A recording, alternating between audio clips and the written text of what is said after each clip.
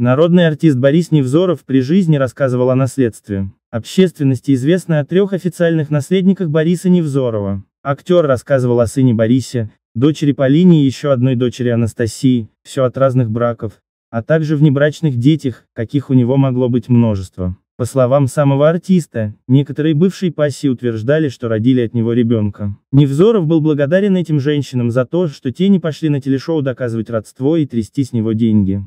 Впрочем, претендовать было ни на что, уверял актер. «Больших средств у меня нет», — отмечал он. Некоторое время артист владел квартирой в центре Москвы, но после развода с третьей женой Ялой Пановой решил продать недвижимость. Вырученные средства экс-супруги поделили пополам. Своей последней избраннице Елене Хрипуновой Борис Георгиевич купил двушку в Московской области. Эти отношения не были зарегистрированы. Невзоров не смог поделиться нажитым со своим первенцем, мать запретила Борису общаться с отцом. Невзоров никогда не отказывался от своих детей. В интервью он отмечал, что при необходимости готов помочь каждому своему ребенку. Что оставил артист своим наследникам, неясно. Пока неизвестно, оставлял ли он завещание. Так или иначе, этот вопрос будет решаться по закону. Напомним, Борис Невзоров скончался накануне. Он прожил 72 года. По данным СМИ, причиной смерти стали осложнения, вызванные коронавирусом.